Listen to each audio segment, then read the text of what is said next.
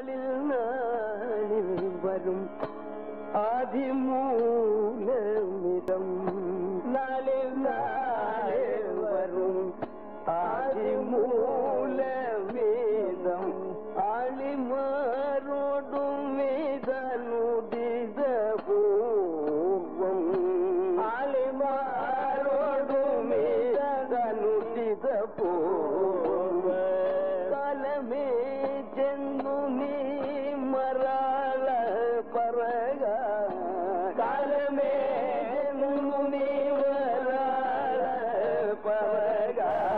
കലാമണ്ഡലം ഗംഗാധരൻ എന്ന ഗായകനെ പറ്റി പറയുമ്പോൾ ഒരു ഞാൻ മുൻപ് പല പലയിടത്തും പറഞ്ഞിട്ടുള്ളൊരു കാര്യമാണ്. ഈ ആദ്യം ഉള്ള കാലഘട്ടത്തിൽ പ്രത്യേകിച്ച് കലാമണ്ഡലം നീലകണ്ഠൻ നമ്പീശന്റെ കൂടെ പാടി വന്നിരുന്ന ഒരു കാലഘട്ടത്തിൽ ഈ രണ്ടുപേരുടെ ശബ്ദം തിരിച്ചറിയുക എന്നുള്ളത് വളരെ ബുദ്ധിമുട്ടായിരുന്നു. ഇത് ഏറ്റവും പ്രകടമായി നിൽക്കുന്ന ഒരു ഓർമ്മ എൺപതുകളുടെ തുടക്കത്തിൽ ആകാശവാണിയിൽ ഒരു ഓണപ്പരിപാടി അദ്ദേഹം അവതരിപ്പിച്ചു. ചിത്രാംഗത അപ്പോൾ പരിപാടി തുടങ്ങിയ ശേഷമാണ് ഞാനിത് കേൾക്കുന്നത്. അപ്പോൾ പരിചയമില്ലാത്തൊരു കഥയാണ്. അതുകൊണ്ട് തന്നെ വളരെ ശ്രദ്ധയോടെ കേട്ടു. കലാമണ്ഡലം നീലകണ്ഠൻ നമ്പീശൻ എന്ന് ഉറപ്പിച്ച് തന്നെയാണ് കേട്ടത്. പക്ഷേ തീർന്നപ്പോഴാണ് മനസ്സിലായത് കലാമണ്ഡലം ഗംഗാധരനായിരുന്നു പാടിയതെന്ന്. അപ്പോൾ കൂടെ പാടിയത് എനിക്ക് തോന്നുന്നു രാമൻകുട്ടി വാര്യരായിരുന്നു എന്നാണ് എന്റെ ഒരു ഓർമ്മ. പക്ഷേ ഈ ഇത്രയും ഘനശരീരമുള്ള ഒരാൾ ഈ ആർദ്രമായ പദങ്ങൾ എങ്ങനെ ഫലവത്തായിട്ട് പാടുന്നു എന്നുള്ളത് അന്നേ അത്ഭുതപ്പെടുത്തിയതാണ്. പക്ഷേ ആ അത്ഭുതത്തിന് ഒട്ടും കഴമ്പില്ല. കാരണം ഞാൻ ഈ പാട്ട് കേൾക്കുന്നത് എൺപതിലാണ്. അതിനുശേഷം പിന്നീട് തിരുവനന്തപുരത്ത് അനവധി അരങ്ങുകൾ എനിക്ക് അദ്ദേഹത്തിന്റെ കേൾക്കുവാനുള്ള ഭാഗ്യമുണ്ടായി. അതിൽ പലപ്പോഴും ഈ കർണശബദം പോലെയുള്ള ആട്ടക്കഥകൾ ഇപ്പോൾ നമ്മൾ കലാമണ്ഡലം നീലകണ്ഠൻ നമ്പീശൻ കലാമണ്ഡലം ഗംഗാധരൻ അത് കഴിഞ്ഞാൽ കലാമണ്ഡലം മാടമ്പി സുബ്രഹ്മണ്യൻ നമ്പൂതിരി എന്നൊക്കെ പറയുമ്പോൾ നമ്മുടെ മനസ്സിൽ ഈ ചിട്ടപ്രധാനമായ കഥകൾ ഏറ്റവും ഭംഗിയായ രീതിയിൽ അവതരിപ്പിക്കുന്ന കലാകാരന്മാരെന്ന നിലയിലാണ്. അതുകൊണ്ട് തന്നെ കലാമണ്ഡലം ഗംഗാഹരനെ പോലൊരാൾ ഈ കർണശബ്ദമൊക്കെ പാടുമ്പോൾ ആ ആദ്യമായിട്ട് അതിന് എത്തുമ്പോൾ ഒരു ആശങ്കയുണ്ടായിരുന്നു. ഇത് എത്രമാത്രം നന്നാകുമെന്ന് പക്ഷേ എല്ലാ ആശങ്കകളും അസ്ഥാനത്താണെന്ന് തെളിയിച്ചുകൊണ്ടാണ് കർണശബ്ദം അദ്ദേഹം പാടിയത്. പ്രത്യേകിച്ച് അതിലെ ആ ഒരു പദം ഇപ്പോഴും ചെവിയിൽ മുഴങ്ങുന്നത് ഷഹാന രാഗത്തിൽ അദ്ദേഹം പാടിയിട്ടുള്ള ഉണ്ണി കണ്ണിൽ ഉണ്ണി എന്നുള്ളതാണ്. അത് വേറെ ആര് പാടിയാലും ഇപ്പം നമ്മൾ ഒരു ഗായകനെ മറ്റൊരാളുമായിട്ട് താരതമ്യപ്പെടുത്തുന്നത് ശരിയല്ല. പക്ഷേ വേറെ ആര് പാടിയാലും ഇത്രയും ഷഹാനയിൽ തന്നെ പാടിയാൽ പോലും ഇത്രയും നമ്മുടെ മനസ്സിനെ വശീകരിക്കുമോ ഇത്രയും ആർദ്രത ഈ ഘനശാരീരത്തിന് എങ്ങനെ ഉൾക്കൊള്ളാൻ പറ്റി എന്ന് ഒരുപാട് ഒരുപാട് ചിന്തിച്ചു. അപ്പോഴുണ്ട് പിന്നീട് ഹരിശ്ചന്ദ്രചരിതം. അതും നമ്മുടെ മനസ്സിനെ വല്ലാതെ വശീകരിക്കുന്ന രീതിയാണ്. ഒരു ഒരു പക്ഷേ കലാമണ്ഡലം കൃഷ്ണൻ നായരുടെ ഹരിശ്ചന്ദ്രൻ വിശ്വാമിത്രനും പിന്നീട് അദ്ദേഹത്തിന്റെ ചുടല ഹരിശ്ചന്ദ്രനും അങ്ങനെയാണ് കണ്ടുവരാറുള്ളത്.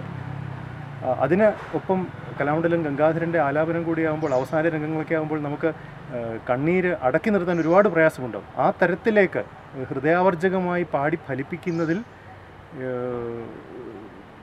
നമ്മുടെ ധാരണയിലുള്ള എംബ്രാന്തിരി ഹൈദരലി ഹരിദാസ് അവരുടെയൊക്കെ മുൻ മുൻപേ നടന്നയാളാണ് കലാമണ്ഡലം ഗംഗാധരൻ. അതിന് യാതൊരു സംശയവുമില്ല. ഒരുപക്ഷെ അദ്ദേഹത്തിന്റെ വഴികളായിരിക്കാം ഇവർക്കൊരു പ്രചോദനമായത്. അത് പിന്തുടരുന്നു എന്ന് പറയാൻ പറ്റില്ല. കാരണം വേറൊരു ശൈലിയിലേക്ക് അവർ മാറി.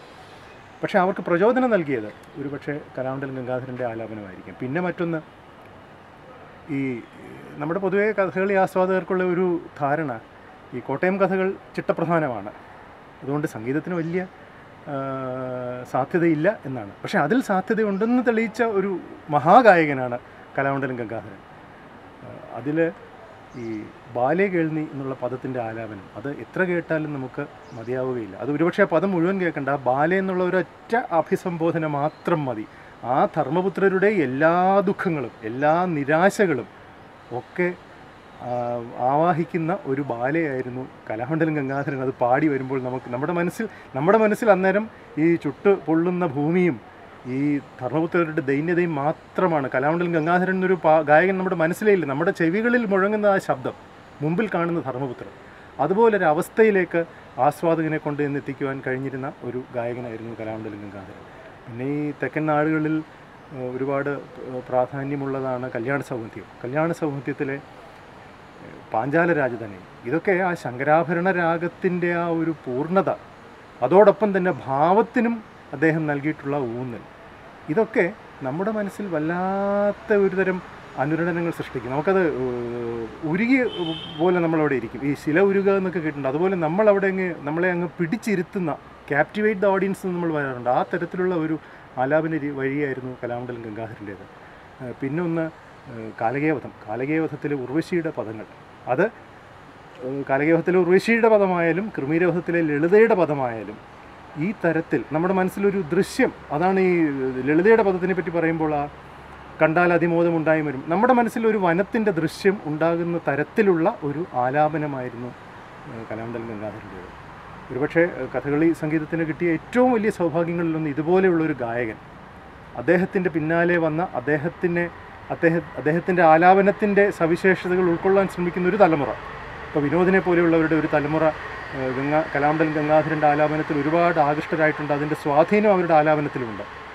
അതായിരിക്കണം അതാണ് കഥകളി സംഗീതത്തിന് അദ്ദേഹം നൽകിയ ഏറ്റവും വലിയ സംഭാവന എന്നാണ് ഒരു ചെറിയൊരു ആസ്വാദകനായ എന്റെ ഒരു വിലയിരുത്തൽ.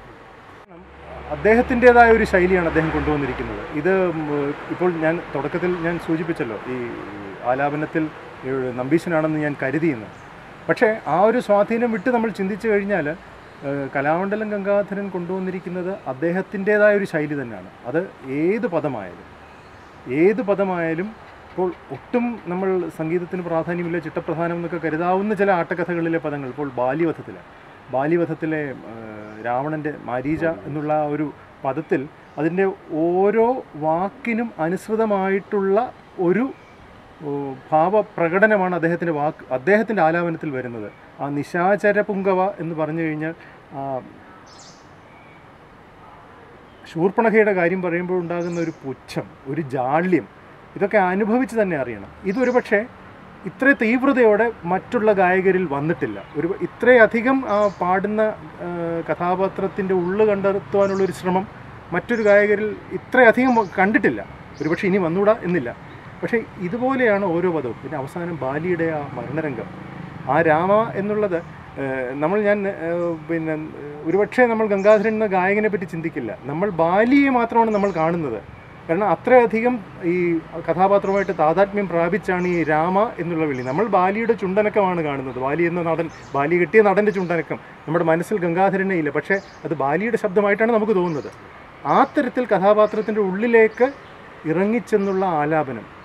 അത് ആയിരിക്കണം അദ്ദേഹത്തിന്റെ ഏറ്റവും വലിയ സവിശേഷത എന്ന് എനിക്ക് തോന്നുന്നു. ഇത് പിന്നെ എടുത്തു പറയേണ്ട ഒരു പദം നളയരുന്ന നാലാം ദിവസത്തിൽ കേശിനിയുടെ പദമാണ്. പൂമാതിനൊത്ത ചാരുതൻ അതും ഈ ഒരു പ്രത്യേക ശൈലിയിൽ അതായത് പിന്നെ ബാഹുകന്റെ രഹസ്യങ്ങൾ മനസ്സിലാക്കുക അല്ലെങ്കിൽ ബാഹുകൻ ആരെന്ന് മനസ്സിലാക്കുക എന്നുള്ള ഒരു രീതിയിലേക്ക് കേശിനി മാറുന്നു. അപ്പോഴും നമ്മൾ ഗംഗാധരന്റെ കാര്യം ചിന്തിക്കുന്നില്ല. ഗംഗാധരന്റെ ആലപിച്ച് നമ്മുടെ മനസ്സിൽ പതിയുന്നത് കേശിനിയുടെ ശബ്ദമാണ്. അങ്ങനെയാണ് നമുക്ക് തോന്നുന്നത്. അതുതന്നെയാണ് അദ്ദേഹം എന്ന ഗായകന്റെ ഏറ്റവും വലിയ വിജയം എന്നാണ് എനിക്ക് തോന്നുന്നത്.